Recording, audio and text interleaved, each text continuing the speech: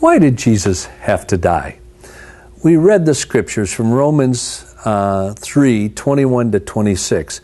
In there, there were two key words. And remember, I said underline those redemption, propitiation.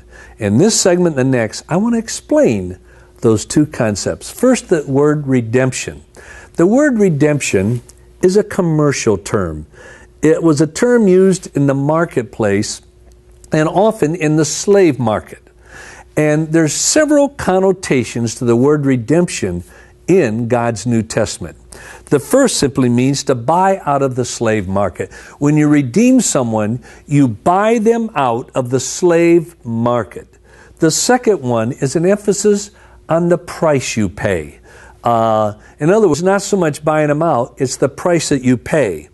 But the third connotation of this word, as it's used in the New Testament, is that the price you pay to buy a slave out of the market is so great that price that slave can never ever again be sold into being a slave. Well, that's the way it's used here.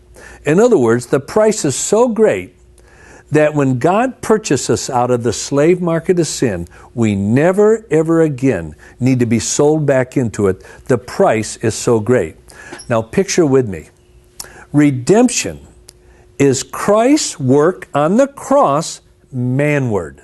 You got that now? It's Christ working the cross towards us.